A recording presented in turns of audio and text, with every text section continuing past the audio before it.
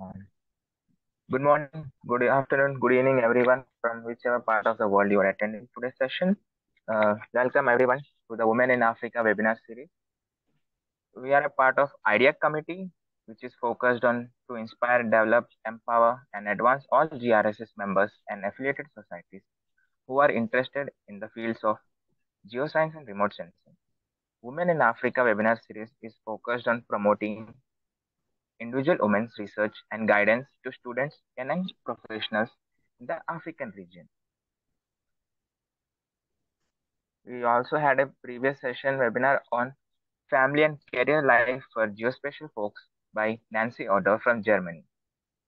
And today's session, we have. Maria from Italy, who is going to speak on the topic fall army worm monitoring and early warning systems.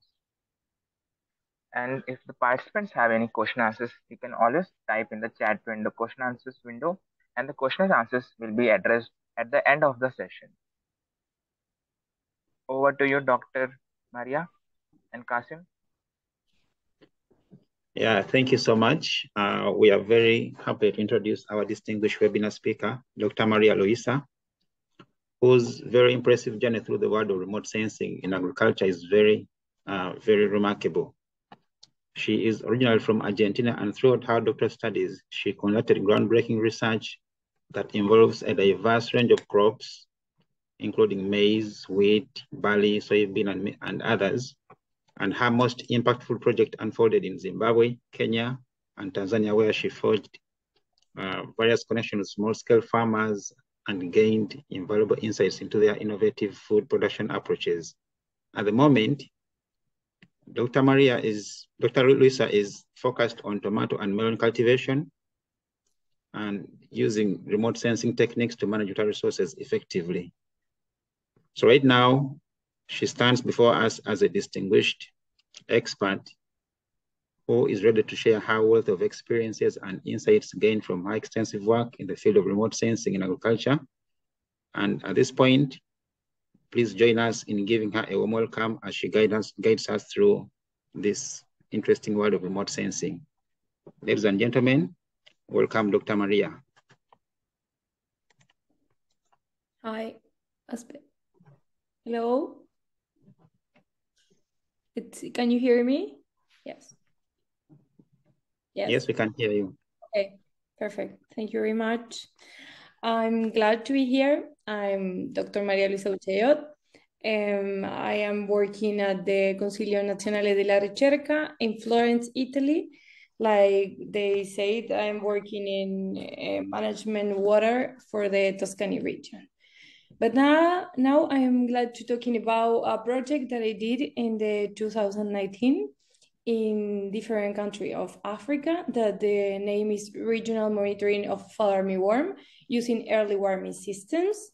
But to have an introduction about what is remote sensing, I will explain a bit uh, what is important to have in count for follow this research.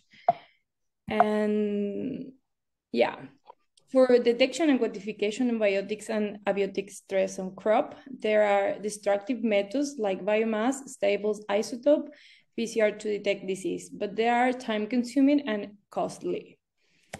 Also, there are no destructive methods like remote sensing on plant, taking vegetation indexes and biomass, photosynthetic parameter estimation of disease.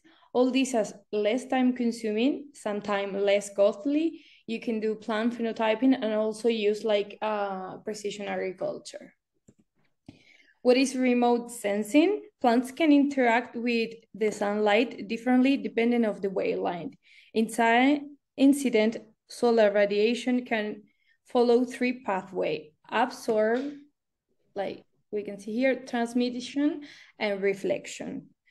Um, the, the radiation reflected by plants contain information about biophysical composition, uh, biophysical status, and can be measured using sensors at different scales. Uh, this have the observation scales we have from ground level until to satellites. Uh, ground level, we have a stationary platform like this one uh, Phenomobile, this one, Phenopoles, like this one, and handheld mobile phone, like this. Also, unmanned aerial vehicles like drones of this one that they have uh, sensors. After we have manned aerial vehicles and the last one is satellites. For taking count and uh, remote sensing is important three resolutions, spectral, spatial, and temporal. With spectral is the wavelength width and the number of the different frequency bands from a sensor. Here we have the reflectance of a leaf plant and we have the highest is in the infrared, the the the lowest is in the visible and after in the short wave infrared we have some. In down we have a figure with the proximal ground and aerial sensor that can be conventional RGB cameras with visible and multispectral hyperspectral sensor that cover almost all the wavelength And for satellite remote sensing, we have different uh, satellite, but I want to focus in Sentinel-2 A plus B that we cover with bands almost all the world line, and PlanetScope that uh, cover the visible and the near infrared that they're more important for the plant status. Uh, following, we have the normalized different vegetation index that from the visible uh, red and the near infrared reflectance that is closely related to the vegetation presence of the vigor.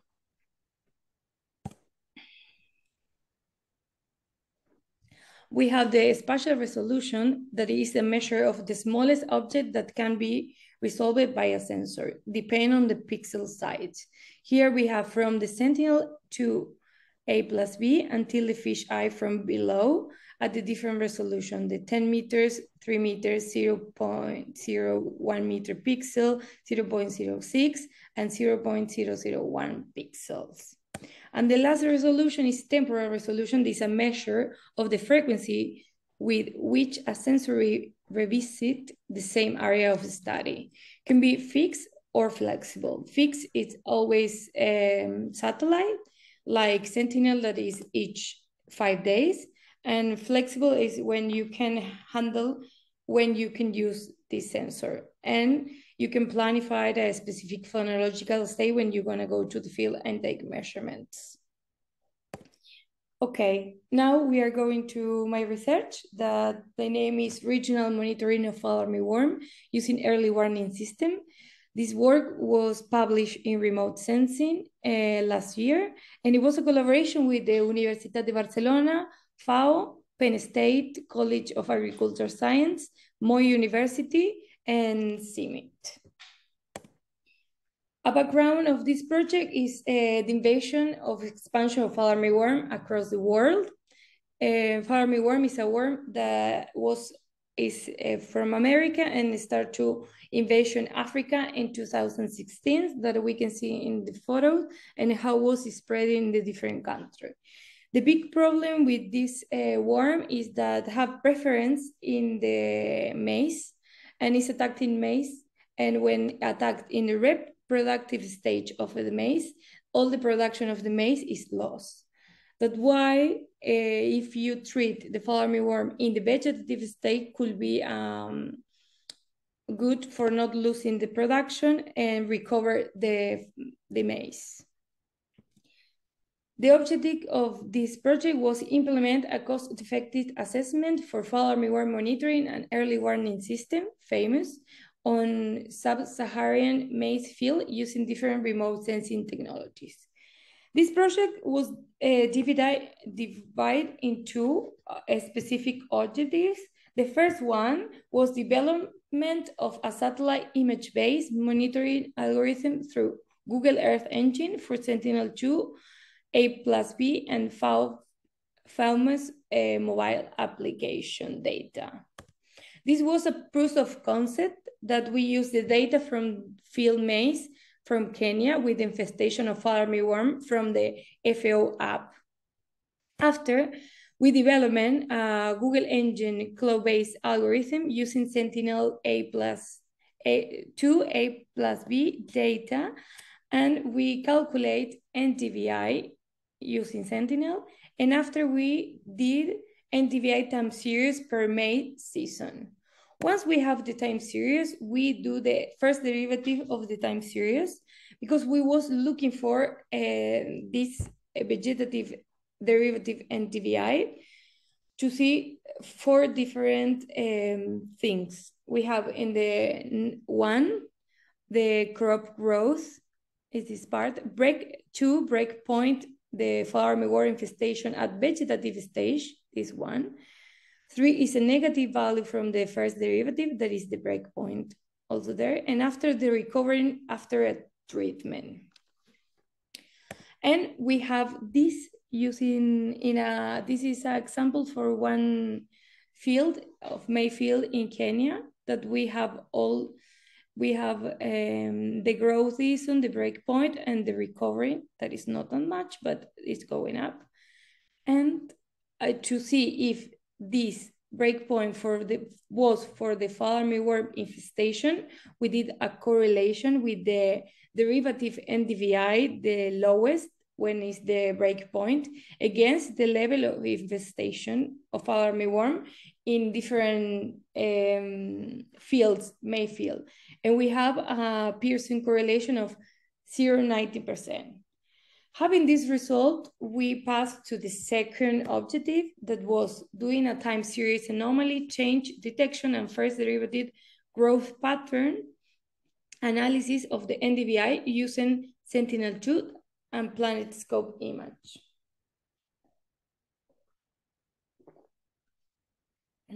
This project was in three countries, in Zimbabwe, Kenya, and Tanzania.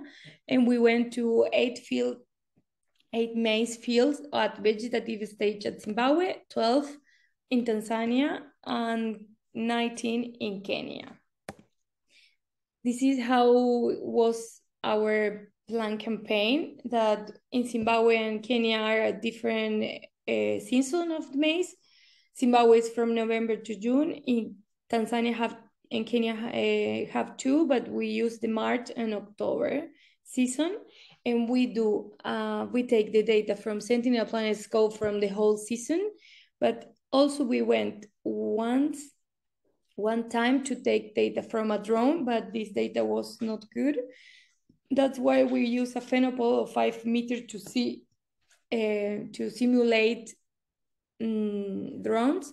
And also we use fish eye from below to take a leaf area index for, for manually processed satellite data, we use Sentinel-2 plus B with 13 band that I show at first, and we calculate the NDVI to see how was the biomass.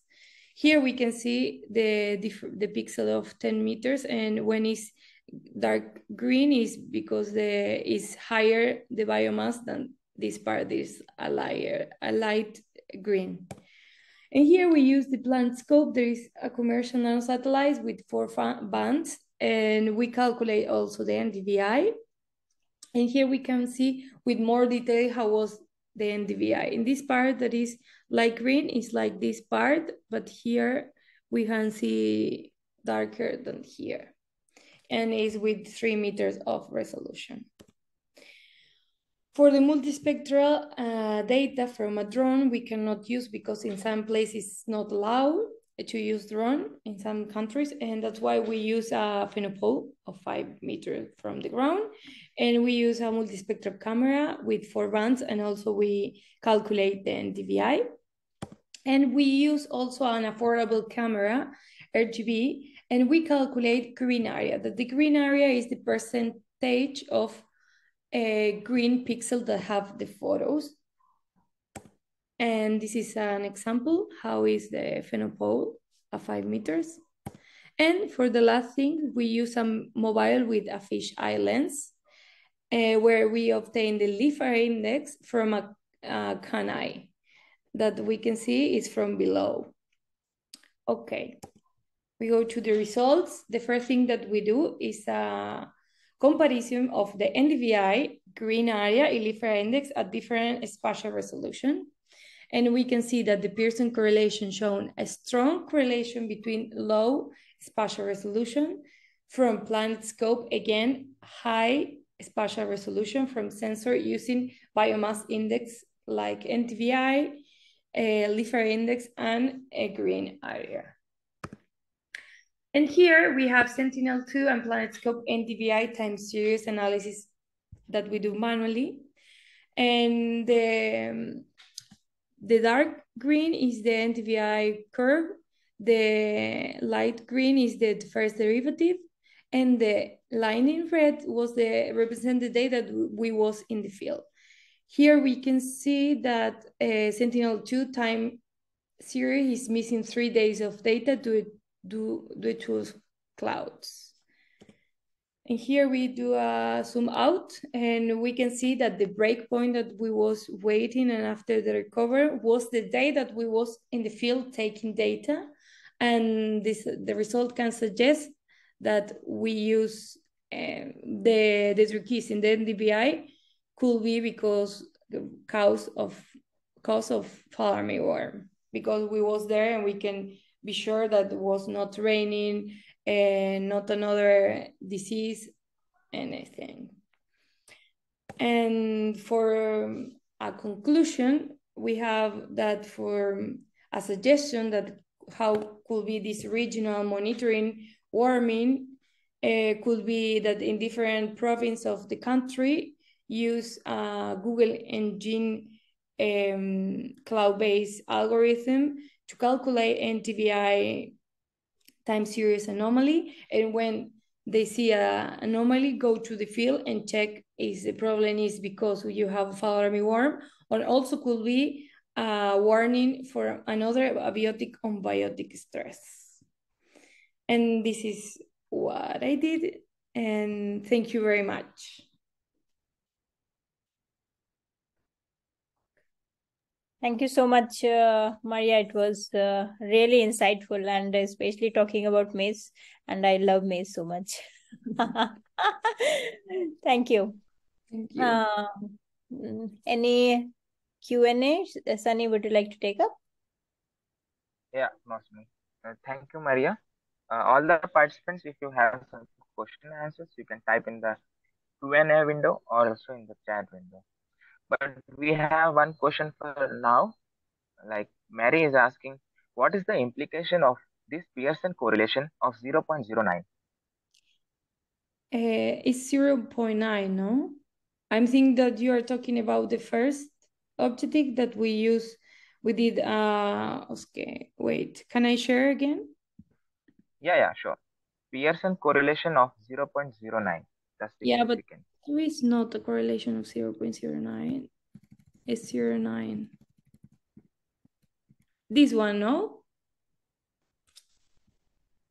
I think maybe. Yes, that's the one I'm talking of. Yeah. I saw it as 0 0.09. This, this was the correlation that we used to, was the proof of concept was worth it to go to the field and check if this proof of concept of all can use and is the relation between the level of infestation that we have in the each field and the minimum derivative NDVI that we have in the same field. And we want to see if they have a correlation. It was a high, and that's why we can say that there is a correlation between the level of infestation of fall armyworm and the minimum derivative NDVI.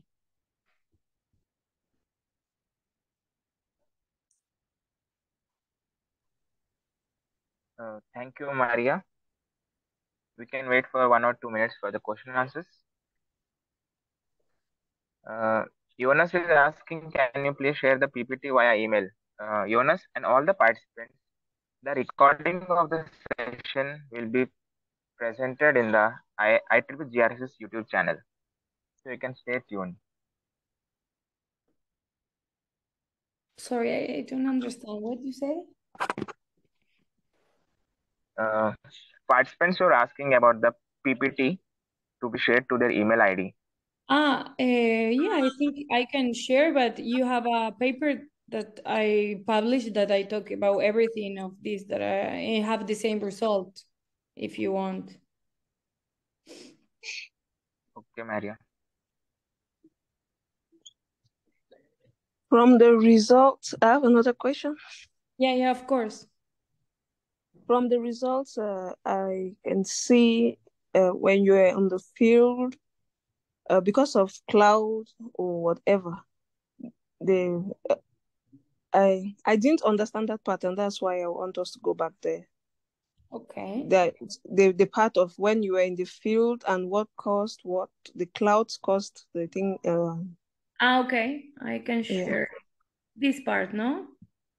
Yes, yes, yes. If when you do the um, Sentinel NDVI, sometime you know that there is clouds, and that's why here you can see that is a perfect curve that they yeah. don't problem.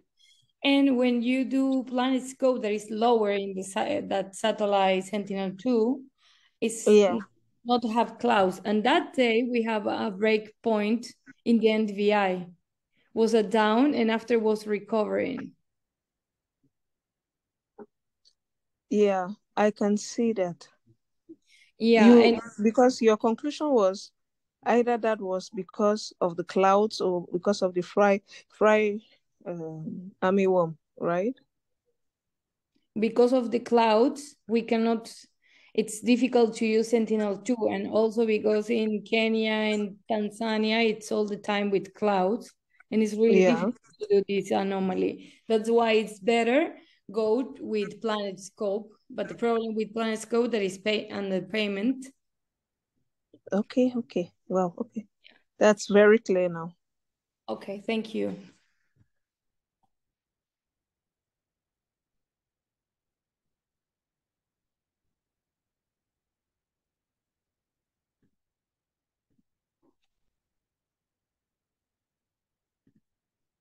Mostly, we do not have any further Last questions. question.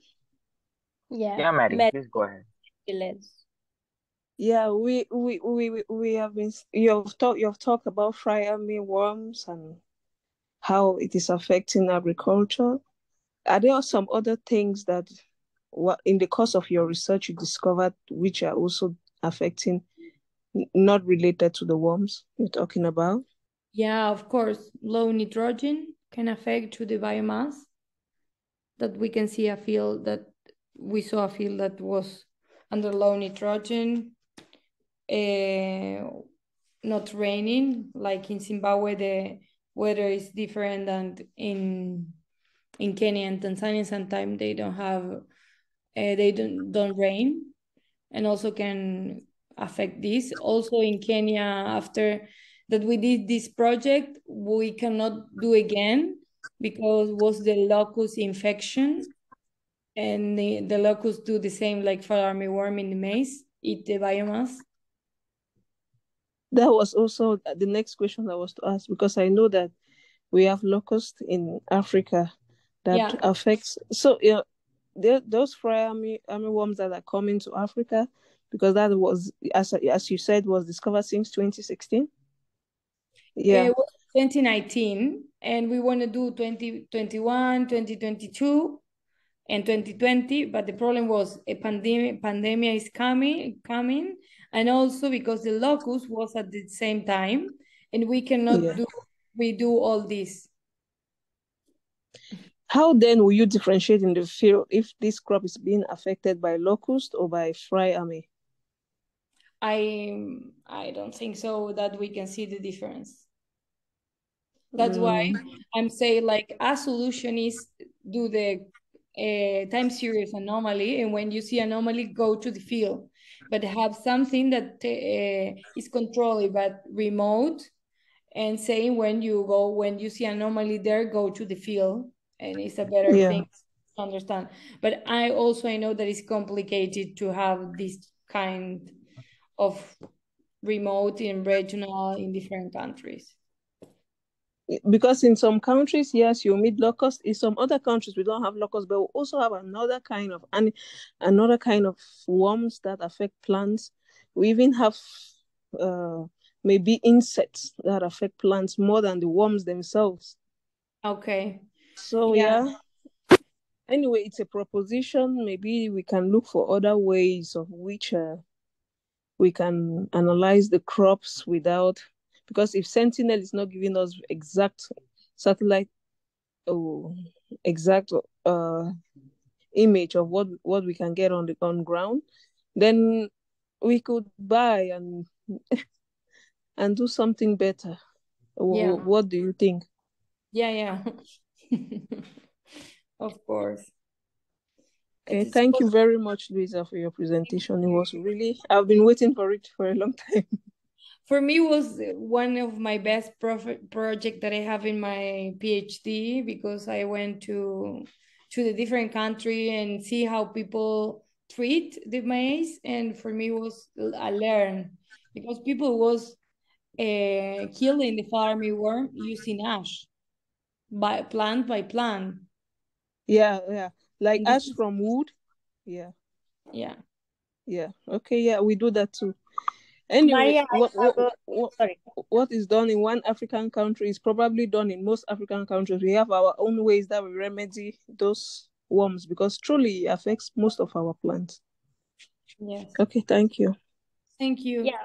Maria, I have a um, question. For this data collection, did you uh, take the images of uh, all this um, maize and uh, all the plants and uh, thereafter you did uh, you applied the training algorithm and the um, testing algorithm. It means what kind how did you collected the data?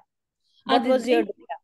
the data from the first objective it was a data that they have in a app the name of FAMEWS that is from farm worm that is going by FAO and uh, Penn State College. And they collect all the field maize field that have fall armyworm and we use all these uh, locations to do a NDVI uh, time series anomaly. And can I I ask I respond to your question you have or yeah so data data was in the form of numericals or in the form of images which you processed the process is like the data from no, which you processed the data oh. was the yes i process all the data from the first one uh, process a google engine that i the the google engine download the data from the sentinel and do and we do a, a cloud-based algorithm to take the course but the second part when i was there i download all the data and do manually to see if everything is go well. And I download, I use QGIS to do everything. So that is what what was the data? Means uh, images was the you know, were the data or the numericals uh, numeric uh, were, figures were the data? No. What was the data? Images.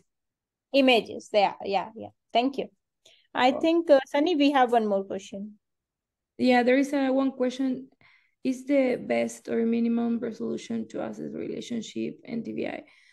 Um, this question is, um, it was the only data that we have and we need to do a correlation between the both and the derivative minimum uh, NDVI is like we have if we take a plant in vegetative stage and the NDVI go down is because the biomass go down and we can see the level of infestation. You're talking about the the same graph. I don't know how to respond this, but I don't know is the best or minimum resolution to assess relationship of NDVI.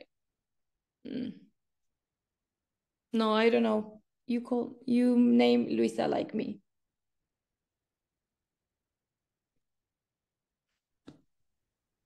Yeah, Sunny, if we do not have any question, we can proceed with the mm, end. Uh, thank you, Mosin. So, thank you, Dr. Maria, for your wonderful session and providing insights about your valuable research. I guess we have one more question. Dr. Mary? Yeah it's it's it's not a question. Um, I I was just to remind us about the the two people we have to choose for this webinar for membership. Mumsy. Yeah. Uh, it uh, doesn't concern you, Louisa. I see the way you're looking confused. Okay. Yeah, uh, Maria, it is uh, every from every uh, webinar we consider two uh, student uh, members who are interested to join uh, GRSS. We would like to ask them if any of the two student members who are interested to join GRSS can uh, write to um, can write to us, or if any of the student member uh, attendee who is a student and willing to join GRSS, please type in the chat box. Uh, so first two will be the given chances.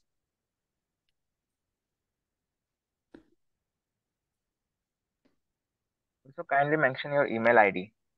Email ID and full name. We can wait for two minutes. Yeah.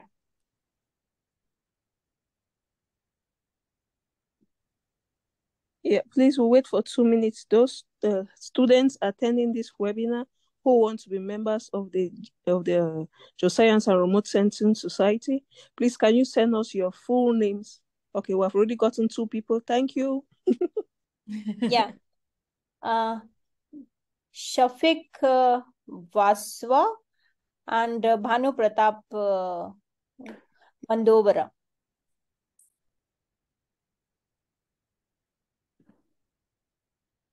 Okay, Mm, then yeah.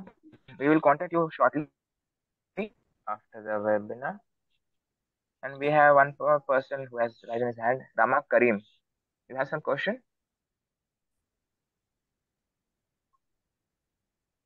Rama Karim, you can unmute yourself and speak to the speaker.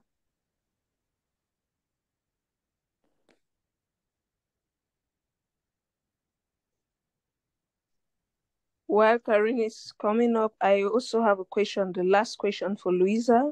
Ah, I have a. How I- will you encourage So sorry. the First, I wanna I wanna uh, respond to Luisa because now I understand the question. Yeah, okay. Sorry. Uh, the best or minimum resolution to assess if you see the correlation that we did. Uh, for me, you can use uh, and Planet Scope and, and and Sentinel, and you can do the level infestation also. Uh, you can see in in the graphic that I show that uh, you can use also satellite. You don't need to high resolution because you want to see how is the NDVI is going down. Okay. Now, uh, what did you ask me, Mari? Yeah, I'm asking about if um, a student wants to understand ZIP, like wants to do what you did in another country or wants to do what you did in the same area but maybe different seasons. How will you encourage that student to go about it? Can you supervise a student? Or first, or first, that's my first question. Can you supervise a student? Or can you mentor a student from beginning to end in a project and let the student understand? Because I'm very sure that there are some students here who really want to understand what you did and also do it maybe their own personal. It's cut. Did you? Uh, it's cutting what you asked me, but I understand. Uh, I can I can help you to do it. Uh, I can give you my email right in here if someone wanted to have um, help in these things. Uh, and I think if I can do, everyone can do. It's not that difficult. And if someone are interested to do something similar to this, can write me and I can help you.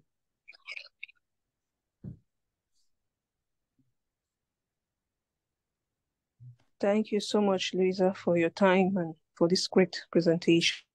Yeah, thank you to invite me. Okay, then with that, we can end our session. Thank you, Maria, and thank you all the participants for attending the session. Thank you, a nice evening. Thank you, everyone. Thank you, Thank Maria. so thank you very much for be here and attend everyone. I'll just request everyone to turn on the pic, uh, turn on their camera so that we can take a group pic. Mary? Kasim? I'll just keep the GRSS logo instead of me, okay? okay. Uh, Kasim, yes, thank you. Mary, we are waiting for you. Sorry, I can't join the picture. Okay, okay. Uh, we'll take this. One minute, one minute, one more.